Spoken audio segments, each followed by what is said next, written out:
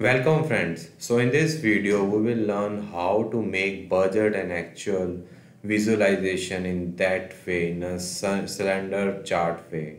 So without wasting time let's do that because in this chart we get the visual of how much sale is completed, how much balance and cost so that we can review it. So without wasting time let's start how to make this type of chart.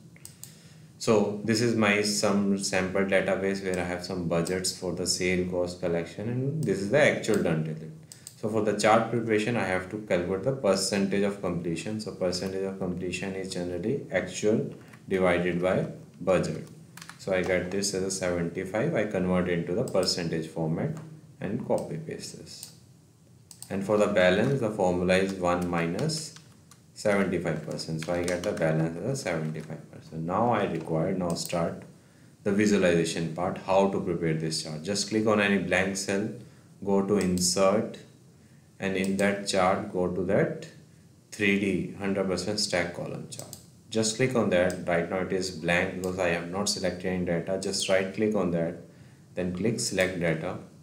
Here I will select first as my sales cost and collection table and then percentage of completion and balance. And just as I soon click enter I get something uh, which I require but it still it is not in that format. So let's begin how to do this. So first I don't require this percentage. I don't require the grid lines.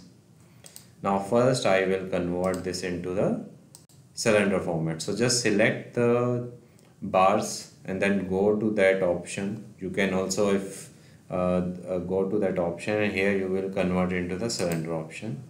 And also remove the reduce the gap width. If I reduce it this size get increased so that it has a more visual appearance. Now see there is no base is there. So for getting that where this cylinder is standing just go to the format. And I select the base by this there is some base it look like. For cost I will select this option. This color and for the collection I will select this green option. Now for the balance percentage I will convert into the solid fill and change this color into the white color. And the magic is in this transparency.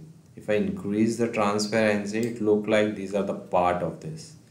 My work majority work is done. Now I have to add the title and the percentage. For that just click on this plus arrow click chart title and the data label which is automatically added. So for data label size is so small I just go to the home increase the size to 16 and bold it and go to that alignment here go to that left margin just increase the margin so that they will remain in center. Same thing we will do for the balance. Go here and increase the size to 16 bold it and then increase the margin so that they look in center.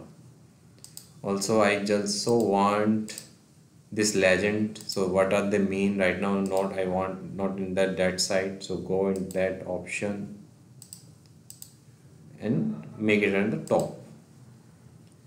And I want my chart uh, also for the sales collection just select them make the size make them bold so that they will represent and I give my chart as a title. Now work is done. I will give the chart as ABC project status. So I can change. For that I can also change the shade color white. Also increase the size title.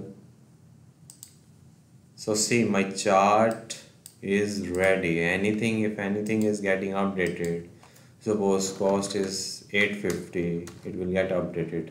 So I will know that my sales is that percentage cost is maybe in a different format like suppose my sales increased by this 8% I know that my sales is left on 8% cost is 15% in collection this person. So hope I think you like this type of visualization. For I think I will start my series on preparation of charts. So Please subscribe to my channel. Thanks for watching this video.